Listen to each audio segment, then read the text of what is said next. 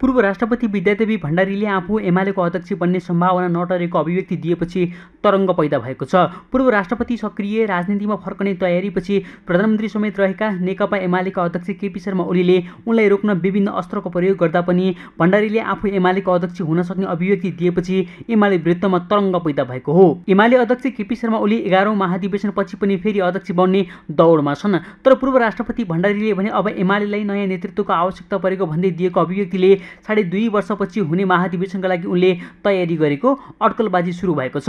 गत वैशाखमा एमालेको सदस्यता नवीकरण गरेकी उनले त्यस यता मदन भण्डारी फाउन्डेसन मार्फत सक्रियता बढाएकी छन्। उनले देशका विभिन्न ठाउँमा हुने एमालेका कार्यक्रममा दिने महत्त्वलाई पनि अर्थपूर्ण ढङ्गले हेरिएको छ।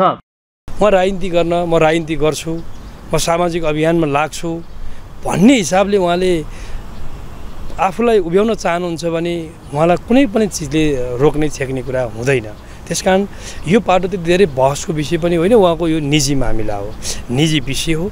उहाँले राजनीति गर्छु भनेर अगाडि आउनुभयो भने उहाँले नेकपा एमालेको राजनीति गर्नुहुन्छ काङ्ग्रेस वा माओवादीको गर्नुहुन्न यो कुरा कन्फर्म हो। र उहाँ हामी सबैलाई थाहा छ उहाँ राष्ट्रपति राजनीतिक पद नै हो त्यो। राष्ट्रपति भनेको देशको अब एक प्रकारले अभिभावक हो। त्यो राजनीतिक एक प्रकारले जिम्मेवारी नै हो। राजनीतिक जिम्मेवारीमा रहेको राजनीतिक व्यक्ति त्यो जिम्मेवारी बाहिर आएपछि म राजनीतिक जीवनमा फेरि फर्किन्छु भनेर सोच्नुभयो भने पनि अन्यथा होइन। मदर भण्डारी फाउन्डेसनमा एमाले कार्यकर्ता छन् त्यसैलाई जग बनाएर विद्या भण्डारी एमालेको नेतृत्वमा आउन खोजेकी छन्। पहिलो राष्ट्रपति बनेर इतिहास रचेकी भण्डारीको योजना अब पहिलो प्रधानमन्त्री बन्ने छ विद्यादेवी भण्डारीलाई एमालेमा फर्काउन ठूलो समूहले प्रयास गरिरहेको छ। एमालेभित्र वरिष्ठ उपाध्यक्ष ईश्वर पोखरेल उपाध्यक्ष विष्णु पौडेल उपमहासचिव पृथ्वी सुब्बा गुरुङ सचिव छविलाल विश्वकर्मा शेरधन राई गोकुल बास्कोटा कर्ण थापा अग्नि खरेल काशीनाथ अधिकारी लगायत सङ्गठन बलियो भएका नेताहरू खुलेरै भण्डारीलाई एमालेमा फर्काउन खोजिरहेका छन्। विगतमा महासचिव शङ्कर पोखरेल पनि विद्या भण्डारी निकट मानिन्थे। अहिले पनि उनको झुकाव भण्डारीतिर भए पनि खुलिसकेका छैनन्। खास गरी विद्या भण्डारीलाई एमालेभित्र केपी शर्मा ओलीसँग फरक मत राख्ने नेताहरूले सक्रिय बनाउन खोजेका छन्। सकेर फर्किन्छु। नेकपा एमालेमा म सक्रिय हुन्छु। उहाँले आजको मितिसम्म उहाँले त्यो कुरा व्यक्त गर्नुभएको छैन। र उहाँलाई सक्रिय रान्तिमा आउनको निम्ति कसैले आग्रह पनि गरेको छैन। भोलिको दिनमा के हुन्छ भन्ने कुरो अहिले भन्न सकिँदैन। भोलि पार्टीमा त्यो खालको आवश्यकता चाहिँ सिर्जना भयो।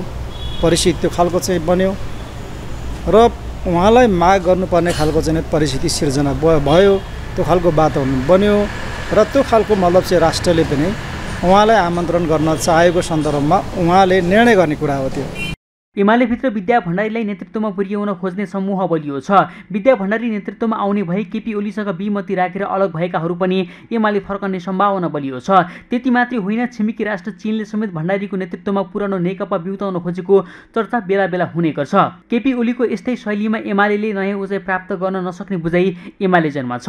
यो सबै विषयको छनक केपी शर्मा ओलीले पाइसकेका छन्। विद्या भण्डारी सक्रिय भए आफूलाई अप्ठ्यारो पर्ने बुझाइ केपी शर्मा ओलीलाई छ। त्यसैले भण्डारीलाई सक्रिय हुन नदिन केपी ओलीले गत वैशाखमा पार्टीको हिरक जयन्ती महोत्सवमा राष्ट्रिय गौरव पदकबाट विद्यादेवी भण्डारीलाई सम्मान गराएका थिए। जसको सन्देश थियो राष्ट्रपति भइसकेको व्यक्ति राष्ट्रिय गौरव पदकबाट सम्मानित भइसकेपछि अब सीमित पार्टीको नेतृत्व गर्ने वा प्रधानमन्त्री बन्ने भन्दा पनि अभिभावकको भूमिका निर्वाह गर्नुपर्छ भन्ने। केपी ओली आफैले पनि विद्या भण्डारी सक्रिय राजनीतिमा नफर्कने अभिव्यक्ति बारम्बार दिँदै आएका छन्। यद्यपि सक्रिय राजनीतिमा फर्कनका लागि आफ्नो माहौल बनाउँदै आएकी विद्यादेवी भण्डारीले केपी ओलीको कुरालाई वास्तव नगरी आफ्नो समूहलाई बलियो बनाउँदै गएकी छन्।